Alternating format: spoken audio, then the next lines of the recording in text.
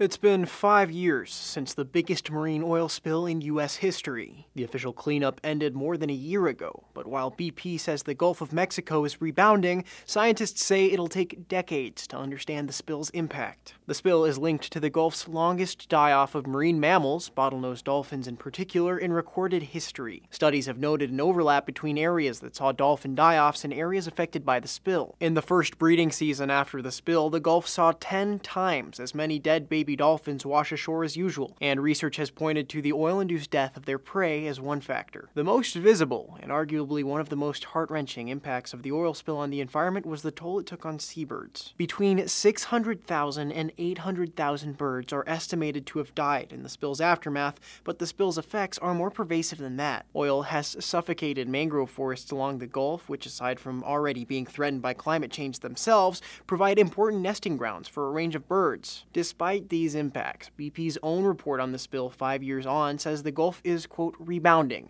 It points to water and sediment samples with low oil content and cites a range of factors that would affect the Gulf's environment that don't include the U.S.'s biggest marine oil spill. Over millions of years, Gulf ecosystems have adapted to consume and biodegrade oil released by the many natural oil seeps across the seafloor. For comparison, the total natural oil seepage for the entire Gulf of Mexico is estimated at 154,000 tons a year. The Coast Guard estimates estimates Deepwater Horizon spilled 735,000 tons in 87 days. Scientists say the scope of the disaster means it will take a long time to understand all of the impacts. We kind of look at it as a 20 year plan, but there are going to be questions answered about the oil spill in two decades still. BP said in March it will continue to investigate potential environmental injury going forward and pay compensation, which it has and will continue to do as ordered by the Supreme Court.